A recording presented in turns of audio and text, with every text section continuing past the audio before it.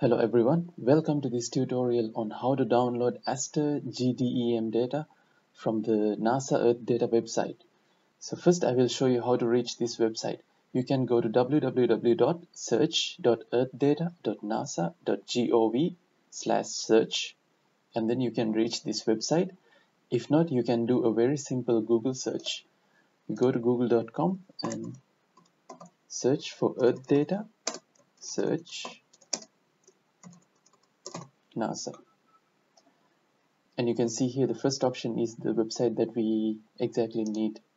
So just log into that.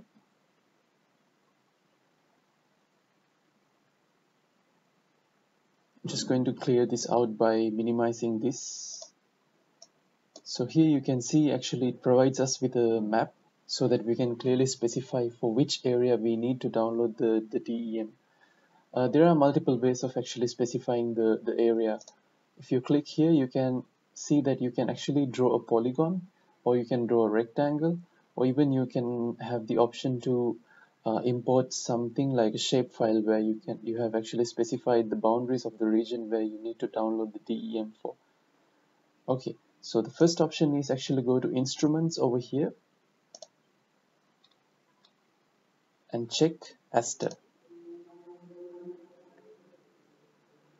Okay, after that, zoom into the area where you need to download the DEM for. So in this case, I'm going to download the DEM for a part of uh, South Africa,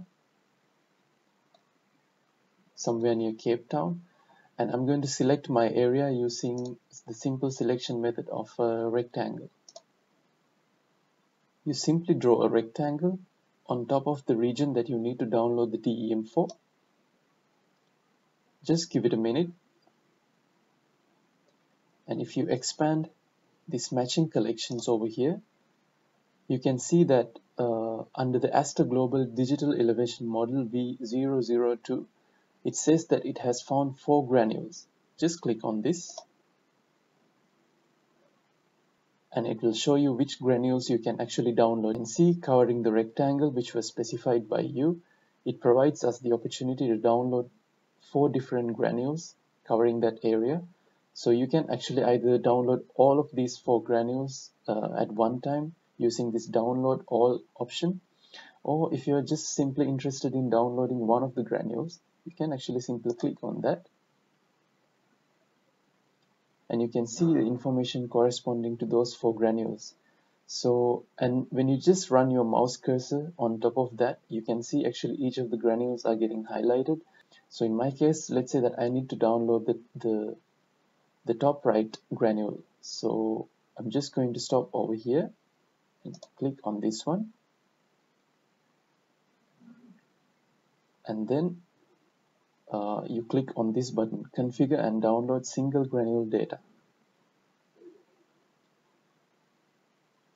Now, after that it will actually redirect you to to your profile.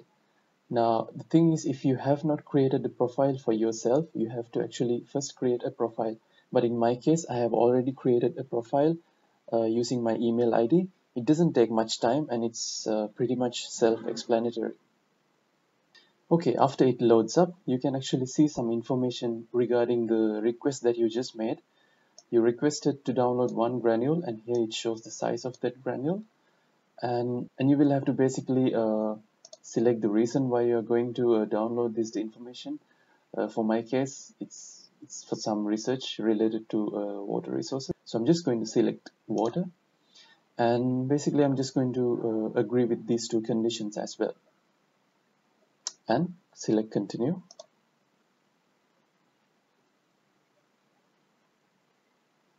And here you'll be able to see your information your name your organization the country and any affiliations.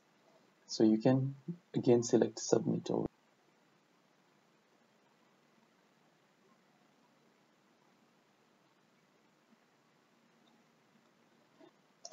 And here under the option ASTER Global Digital Elevation Model V002, you can see that your orders are still pending.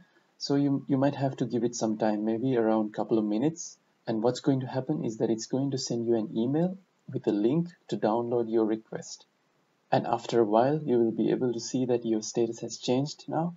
and you can simply uh, log into your email and you will receive an email something that looks like this with the order notification. And if you just scroll down over here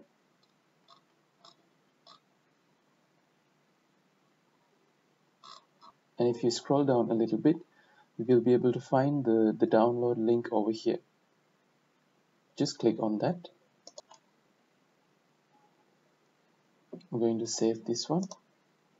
It'll look like this and you can see the zipped file. Just extract it over here and this is the file that we are looking for. Now to open this file you can use your GIS software. Uh, for me I'm using ArcGIS. Uh, it could be another GIS software for you like QGIS or Global Mapper or Map Window any software is capable of opening this kind of a DEM so what I'm just going to do is uh, I'm just going to open. So you can open ArcGIS like this and simply just drag it and drop it say yes and here we go. This is our DEM now now based on your GIS software you can do different types of uh, color classifications. So that's about it for this tutorial. I hope you enjoyed. If you have any further questions please feel free to comment below. Thank you